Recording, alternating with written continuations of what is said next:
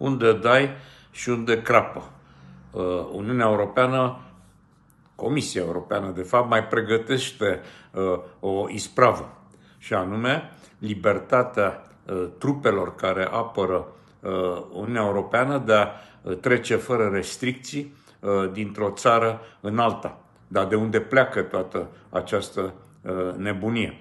Pleacă de la amenințările în materie electronică, care planează asupra unor state din Uniunea Europeană nevoia de a riposta în fața acestor amenințări uh, ne poate conduce, dacă e validată ideea vehiculată la Comisia Europeană, la această aberație.